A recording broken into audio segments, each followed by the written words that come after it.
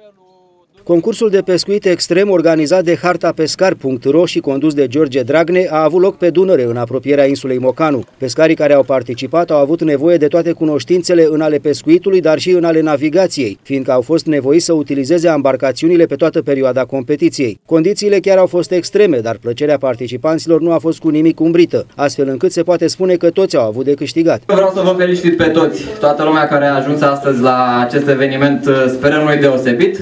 Este a treia ediția concursului de pescuit extrem pe Dunăre și astăzi s-a văzut și de ce este extrem.